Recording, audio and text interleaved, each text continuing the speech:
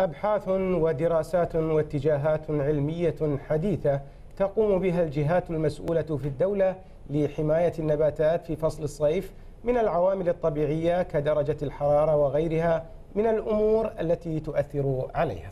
الحفاظ على السمات الطبيعية للبيئة النباتية هو أحد أهم الأهداف التي تسعى إلى تحقيقها مختلف جهات الدولة لحماية الغطاء النباتي لجعله مكانا أكثر صحة وجمالا. استمرار درجات الحرارة بالارتفاع عاما بعد عام يؤدي إلى فقدان البيئة المحلية للكثير من أنواع النباتات بسبب عدم قدرتها على تحمل الارتفاع في درجات الحرارة. إذا على الجهات المسؤولة أن تولي اهتماما كبيرا لمشاريع التشجير استنادا إلى رؤية استراتيجية للتقليل من الأثار السلبية الناجمة عن ارتفاع درجة الحرارة. حفر الآبار السطحية إحنا عارفين عندنا مشكلة بدولة الكويت وهي ارتفاع المياه السطحية واللي تأثر بالطبع على أساسات المنازل.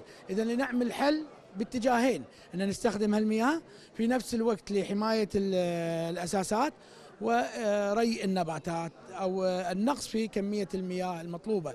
هناك توجه وقاعد يتم حاليا التنسيق مع وزارة الأشغال والهيئة العامة للبيئة لعمل نقدر نسميه تحلية المياه أو التناضح نسميه التناضح العكسي. دراسات علمية وأبحاث تتضمن إدخال النباتات الفطرية ضمن مشروعات التجميل والتخضير وتكون كويتية المنشأ لتتحمل البيئة المحلية دون جهود بشرية.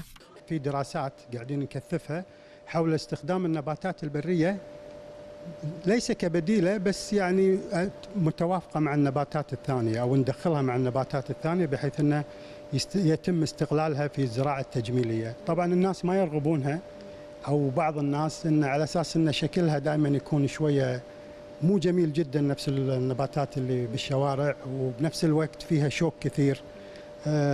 بس ولكن هذه أنا أعتقد من النباتات اللي مستقبلها المفروض يتم التركيز عليها بدل النباتات الدخيلة اللي من برا لأنها توفر طبعا عليك المياه صيانة النباتات هذه ما ما تحتاج مياه ما تحتاج تسميد. أما عن تحرك جمعيات النفع العام الخاصة بالبيئة فهي تقوم بعدة حملات توعوية لوقف التدهور السريع الذي تشهده مشروعات الدولة التجميلية. إحنا بالنسبة لنا كجمعية نفع عام نعطي توصيات يعني للجهات المسؤولة للجهات المعنية الجهات الرسمية بالمزيد من العناية والاهتمام بأشجار النخيل سواء كان في فترة الصيف أو حتى في طول على مدار السنة.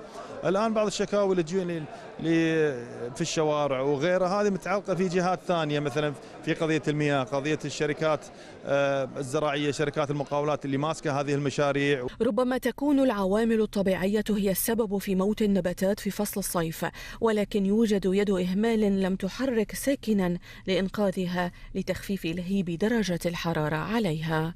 مروى محرم تلفزيون دولة الكويت.